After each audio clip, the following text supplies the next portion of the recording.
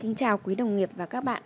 Hôm nay tôi xin trình bày một ca lâm sàng về lipom nội sọ được phát hiện và chẩn đoán tại Bệnh viện Đại học Y Hà Nội. Bệnh nhân nữ 31 tuổi vào viện vì đau đầu nhẹ, không khu trú, không kèm thêm các biểu hiện khác như là chóng mặt, buồn nôn, nôn hay yếu liệt. Bệnh nhân có tiền sử khỏe mạnh.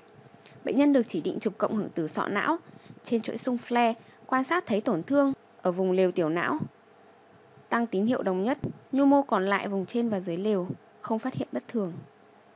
Trên chuỗi xung T1, ta quan sát thấy tổn thương với tính chất tương tự nằm ở vùng lều tiểu não với đường bờ và ranh giới rõ. Trên chuỗi xung coronal T2, quan sát thấy tổn thương gây hiệu ứng khối đè đẩy nhẹ thủy nhộng của tiểu não sang bên đối diện. Trên chuỗi xung T2 sao, ta thấy tổn thương giảm tín hiệu hoàn toàn. Trên chuỗi xung diffusion, tổn thương không hạn chế khuếch tán. Trên chuỗi xung top động mạch, không quan sát thấy các bất thường như là hẹp tắc hay dị dạng mạch máu lớn. Và bởi tổn thương tăng tín hiệu trên cả chuỗi xung T1, T2 và flare nên một số chẩn đoán có thể đưa ra đó là chảy máu, bất thường mạch máu hay tổn thương chứa mỡ. Bởi vậy, để hỗ trợ thêm chẩn đoán, chúng tôi đã chụp thêm một chuỗi xung xóa mỡ và quan sát thấy tổn thương giảm tín hiệu hoàn toàn. Chẩn đoán cuối cùng được đưa ra là lipom nội sọ. Từ ca lâm sàng trên, sau đây tôi xin trình bày một số đặc điểm chính về lipom nội sọ trên chẩn đoán hình ảnh. Lipom nội sọ là một bất thường bẩm sinh xuất hiện trong quá trình phát triển và biệt hóa của màng não nguyên thủy. Bởi đây là một bất thường bẩm sinh nên không được coi là một u não thực sự. Bởi vậy, tôi giữ nguyên thuật ngữ lipom nội sọ thay vì sử dụng từ u não. Tổn thương này có thể phối hợp với bất thường phát triển của các cấu trúc lân cận. Bởi vậy, trong quá trình thăm khám, nếu phát hiện lipom nội sọ, cần quan sát kỹ các cấu trúc lân cận. Bất thường này có thể phát hiện ở mọi lứa tuổi và không có sự khác biệt về giới tính. Về mặt lâm sàng, lipom nội sọ thường không có triệu chứng, bởi vậy thường được phát hiện tình cờ khi đi khám sức khỏe hoặc trong quá trình thăm khám các bệnh lý khác của sọ não. Tuy nhiên, trong y văn, một số trường hợp ghi nhận có triệu chứng lâm sàng như là động kinh, đau đầu, liệt thần kinh sọ do chèn ép. Các vị trí thường gặp của lipom nội sọ đầu tiên phải kể đến là quanh thể chai với tỷ lệ thường gặp lên đến 45%. Một số trường hợp ghi nhận có động kinh trên bệnh nhân lipom nội sọ, tổn thương cũng nằm ở quanh thể chai. Các vị trí tiếp theo có thể gặp đó là củ não sinh tư, vùng trên yên và góc cầu tiểu não với tỷ lệ thường gặp giảm dần theo thứ tự tương ứng. Về mặt chẩn đoán hình ảnh, một số phương tiện có thể được sử dụng để phát hiện lipom nội sọ. Thứ nhất là siêu âm qua thóp ở trẻ còn chưa đóng thóp.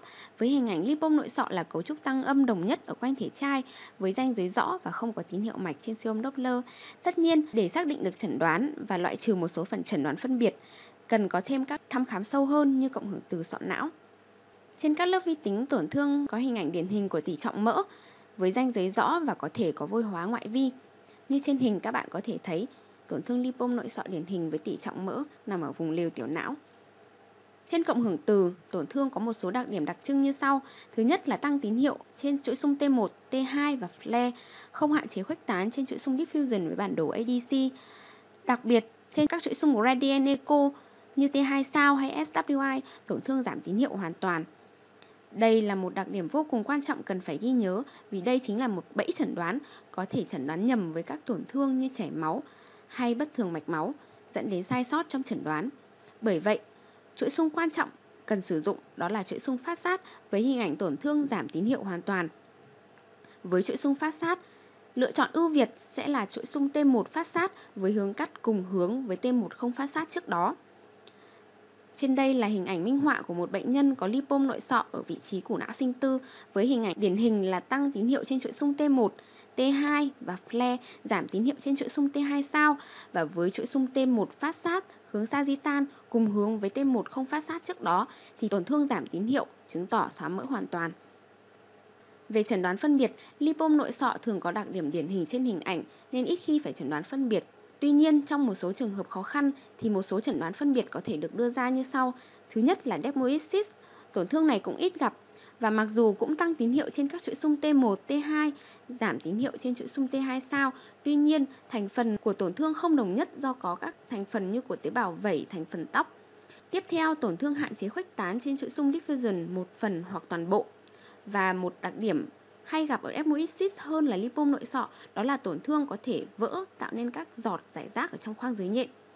Thứ hai là teratom, tổn thương u quái chưa trưởng thành với nhiều thành phần để chẩn đoán phân biệt như là vôi, mỡ, dịch hoặc tổ chức có ngấm thuốc.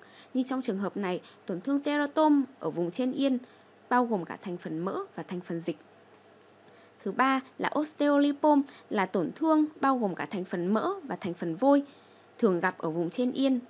Như ban đầu tôi trình bày, lipom nội sọ cũng có thể có vôi hóa nhỏ ở vùng ngoại vi, bởi vậy một số tác giả không đặt nặng vấn đề phân biệt giữa osteolipom và lipom nội sọ bởi không có sự khác nhau trong thái độ điều trị, cùng là điều trị bảo tồn nếu tổn thương không gây ra triệu chứng. Bởi vậy, tùy vào mức độ vôi hóa mà có thể đưa ra chẩn đoán là osteolipom hay lipom nội sọ. Cuối cùng tôi xin đưa ra một số kết luận như sau.